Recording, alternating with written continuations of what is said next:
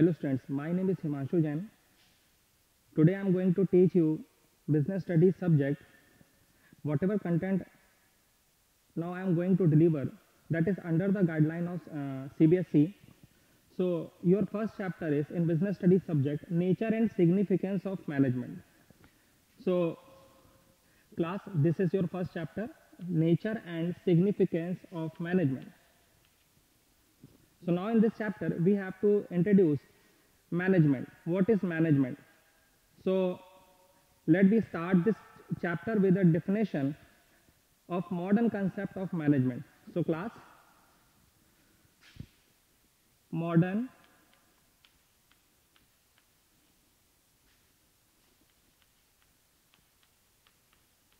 concept of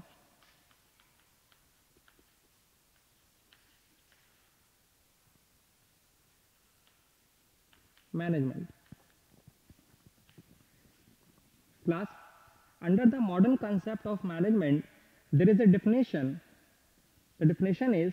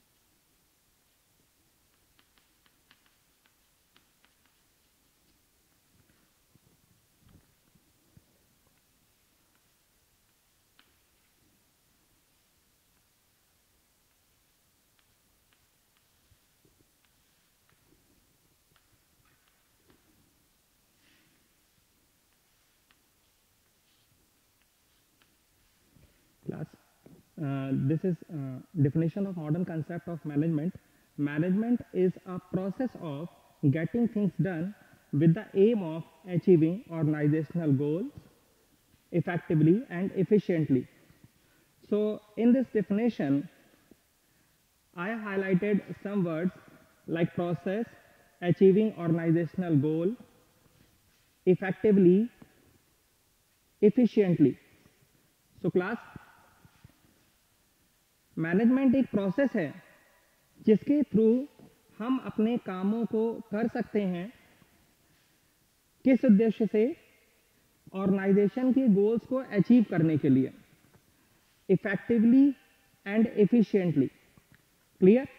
So, इस definition को, ये जो डेफिनेशन है आपकी मॉडर्न कंसेप्ट ऑफ़ मैनेजमेंट तो एक क्वेश्चन जो है वो आपका यहाँ पे एक बनता है what is the modern concept of management explain briefly class तो ये मॉडर्न कंसेप्ट ऑफ़ मैनेजमेंट की ये डेफिनेशन है.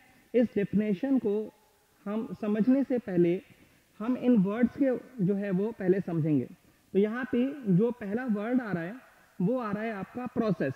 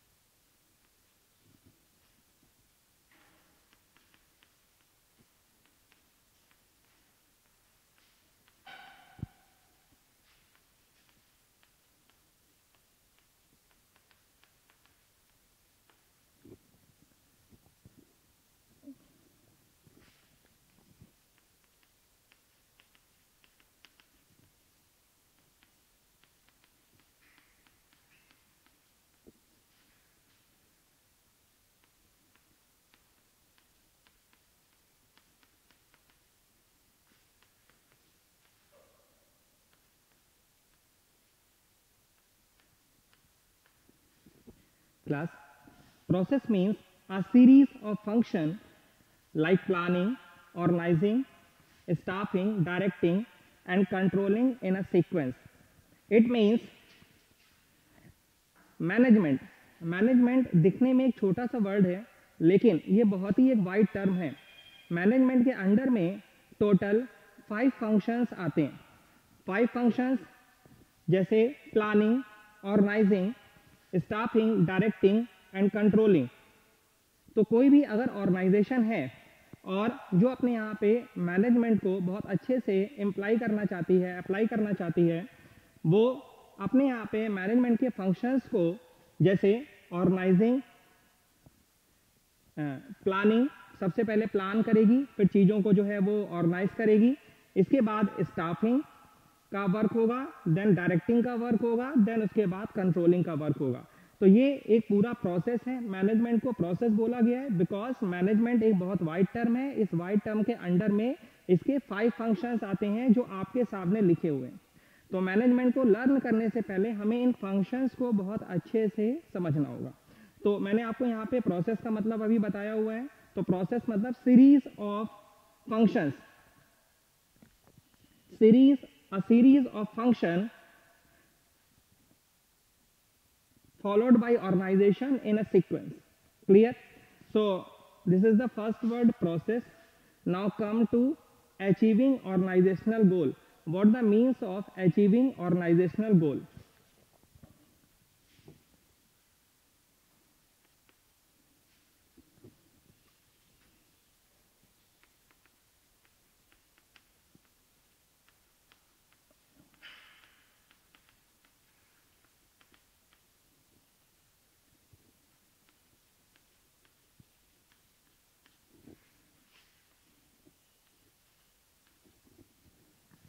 Class achieving organisational goal तो हम यहाँ पे ये डिस्कस करने वाले हैं कि ऑर्गेनाइजेशन गोल जो है वो क्या होता है और से कैसे।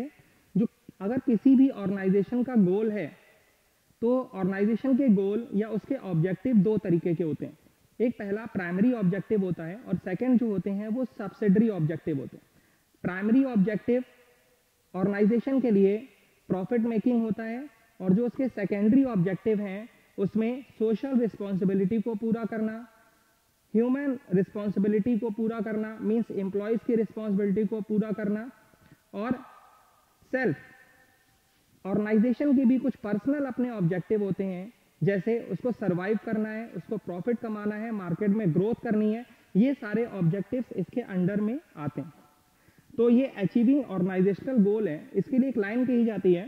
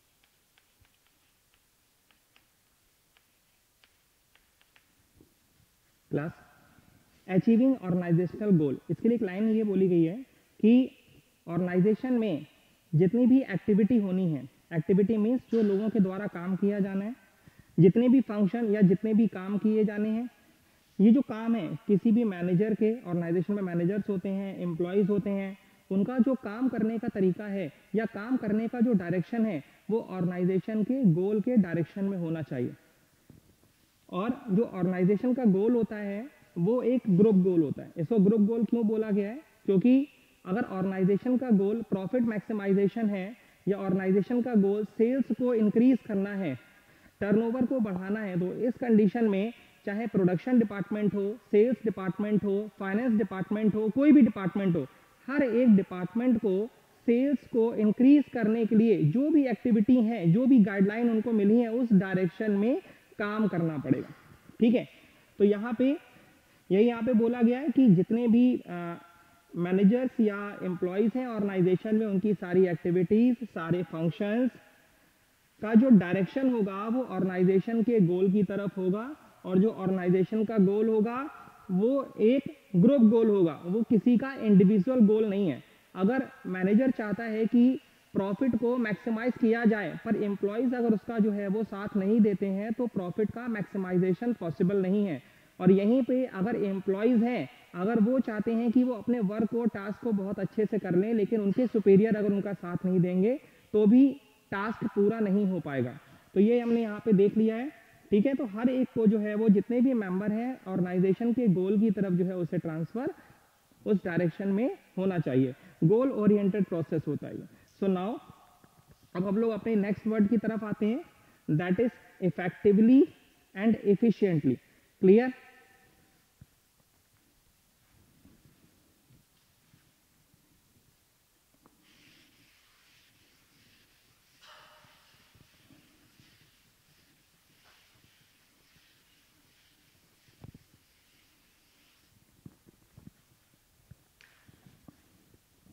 class कई स्टूडेंट्स को इस बात पे कंफ्यूजन होती है कि इफ़ेक्टिव और एफिशिएंट इन दोनों में क्या डिफरेंस होता है और किस तरह से इसको एक्सप्लेन करना है। कई बार सीबीएसई बोर्ड में इससे रिलेटेड क्वेश्चन आते हैं, जिस समय आपको यह आइडेंटिफाई करना होता है कि इफ़ेक्टिव और एफिशिएंट कि ऑर्गेनाइजेशन इफ़ेक्टिव है या ऑर्गेनाइजेशन जो है वो इफिशियंट है। तो ये मैं आपको इसके, इसको मैं दो मेथड से बताऊँगा। एक आप मगिंग अप कर सकते हैं, रट सकते हैं, इसको याद रख सकते हैं। दूसरा इसका जो एक्चुअल मतलब है, वो भी मैं आपको यहाँ पे एक्सप्लेन करने वाला हूँ। तो हम इसको स्टार्ट करते हैं। तो फ़र्स्ट हम जो वर्ड लेने वाले हैं, वो इफेक्टिवली लेंगे। तो मैं इसको यहाँ पे, पहले मैं आपको एक इफ़ेक्टिव का मीन्स क्लियर करता हूँ। So class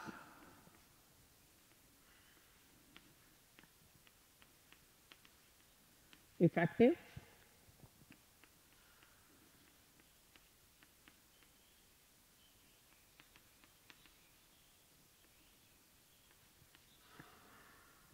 efficient. So, effective and efficient.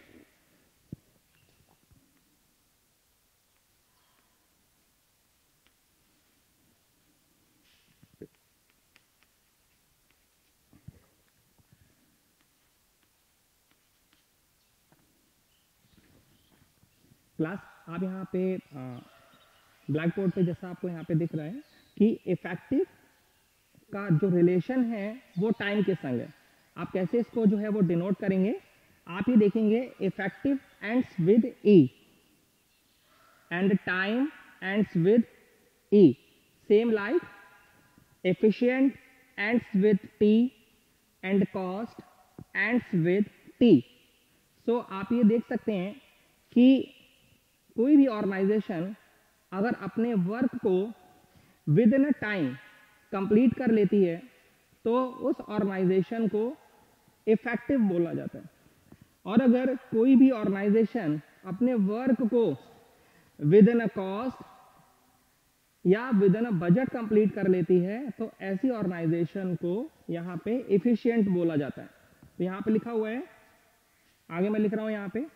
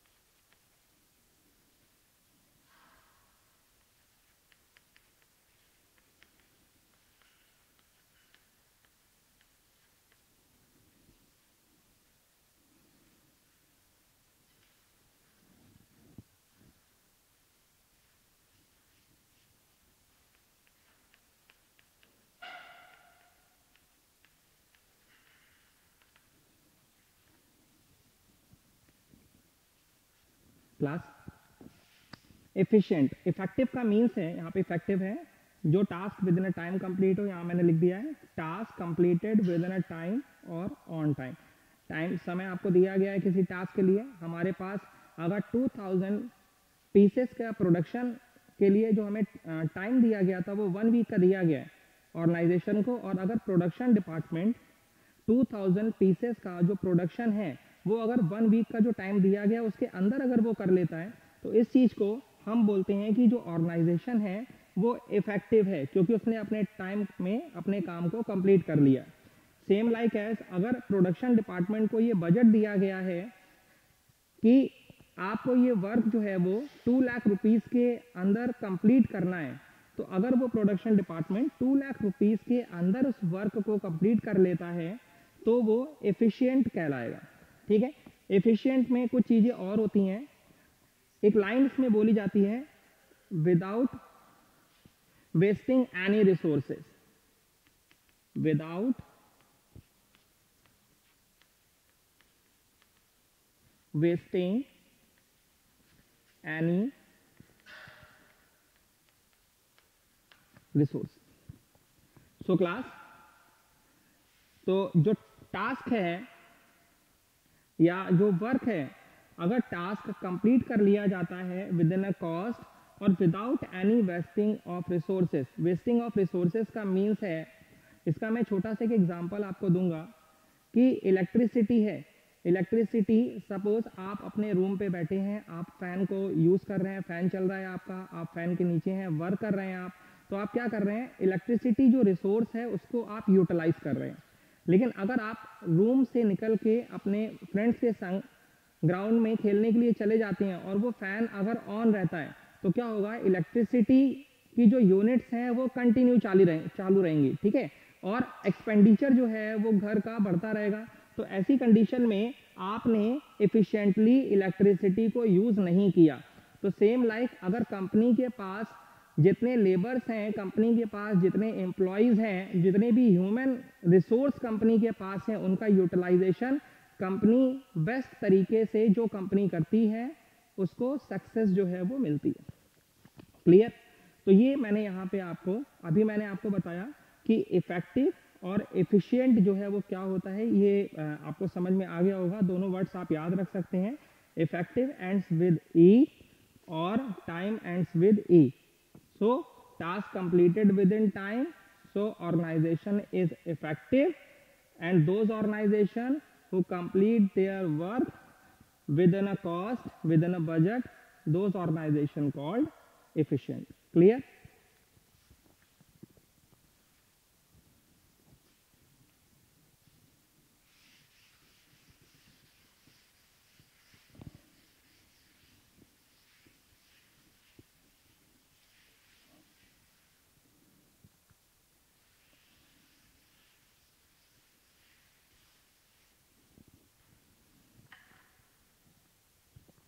Class modern concept of management में एक क्वेश्चन और जो है वो आ, पहले आता है कि what is the relation between effectiveness and efficiency कि इफेक्टिवनेस और एफिशिएंसी के बीच में क्या रिलेशन ये रिलेशन भी जो है वो आपको मैं एक्सप्लेन करने जा रहा हूँ इसको आप थोड़ा सा केयरफुली वॉच करें।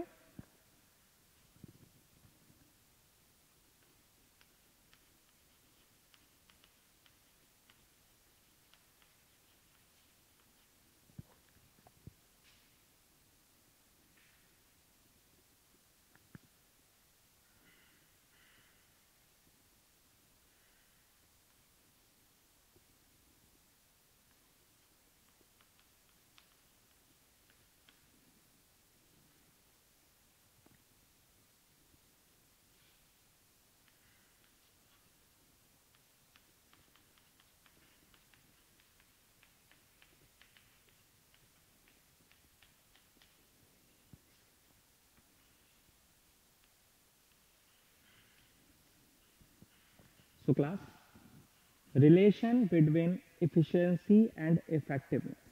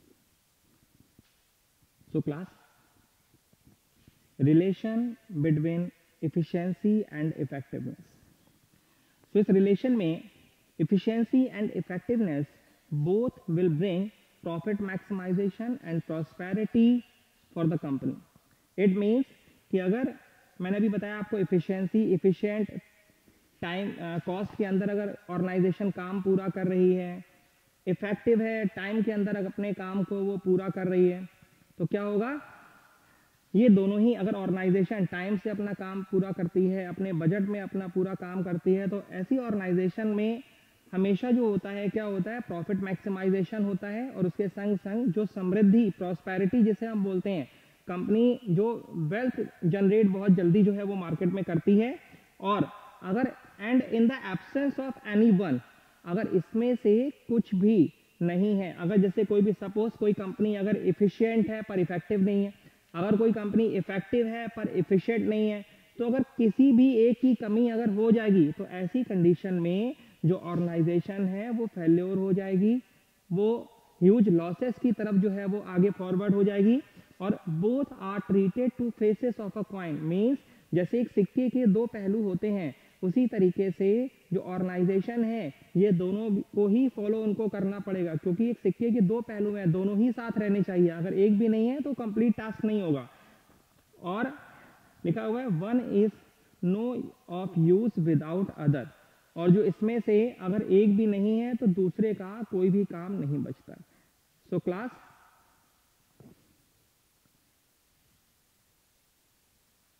thank you for watching my video